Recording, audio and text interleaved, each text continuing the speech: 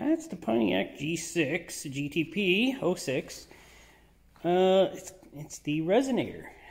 I cut her off and I'm putting in a straight pipe just to, well, it's pretty rusted out and I don't think it's doing much of a job and it's just a big heavy piece of metal now. So, I have put some, I'm going to put some straight pipe in and we'll see what that does. Hopefully it makes the car a little louder, maybe less restrictive, maybe a little faster. I don't know. Guess I'll have to find out when I do her. Well, I did some cutting, so I got her cut open. Now we're gonna open it. Hopefully, I don't know. I think I cut through everything. I think uh, she's still hot, so I better not. Oh my, it looks like a big furry animal is inside. But I think that's the fiberglass.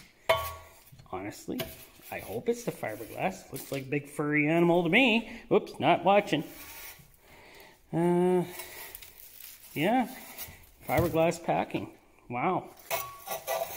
So this is kind of like just a big glass pack muffler on here, I see. Oh, that's the uh, roving fiber, I guess. I didn't know that these things had that. Hmm. I thought it was built differently. Interesting. Get this piece out here. See if I can. It's hard to do this with one hand. But there we go. Should have just cut the muffler off and left this on. It would have been a lot louder. I don't want it louder. I wanted it to flow better. Okay, let's see what we got here. That's Fiberglass packing.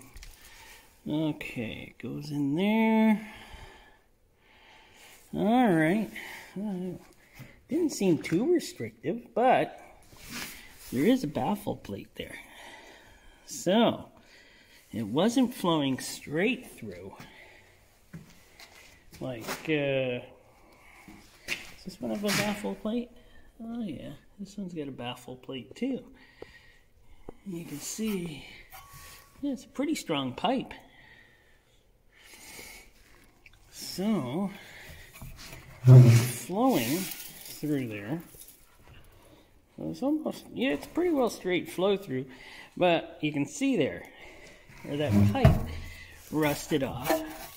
And that pipe was rusted off. And, well, it wasn't flowing that great anymore. So, it should have been on there like this plate here. But no, it was not. So it was kind of just flowing back into the fiberglass. Oh, interesting. Oh, well, this thing weighs a ton. So the uh, pipe I put in weighs a lot less. That's a weight reduction. Plus, the pipe will flow better. And that's also a better reduction. That's a better flow. So uh, I'll be surprised if it doesn't flow a lot better. All right. Thanks for watching.